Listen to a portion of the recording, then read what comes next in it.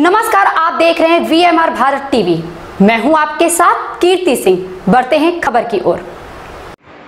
Corona के बीच रक्तदान करने उमड़े युवा। 214 यूनिट रक्त संग्रहित। रक्तदान शिविर में शिक्षाविद डॉक्टर बलवंत सिंह चिराना ने बाईसवीं बार किया रक्तदान।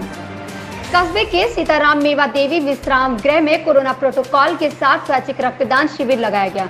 शिविर का शुभारंभ सरपंच राजेंद्र सिंह शेखावत व सीएससी प्रभारी डॉक्टर श्याम प्रताप सिंह शेखावत ने किया।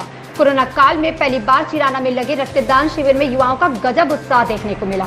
शिविर में आई दो टीमों ने कुल 214 यूनिट रक्त संग्रहण किया। मुख्य अतिथि नवलगढ़ एसडीएम दमयंती कंवर ने कहा कि ग्रामीण अंचल में कोरोना जैसी विषम परिस्थितियों में रक्तदान शिविर का आयोजन बहुत ही सराहनीय कार्य है। एसडीएम दमयंती कंवर ने रक्तदाताओं की हौसला अफजाई की और प्रशस्ति पत्र वितरित किए। बीसीएमओ डॉक्टर गोपी चंद्र जाखड़ ने कहा कि रक्तदान करना किसी तीर्थ से कम नहीं है। सुमेर सिंह राव की रिपोर्ट। इस खबर में बस इतना ही। बने रहें वीएमआर भारत टीवी के साथ।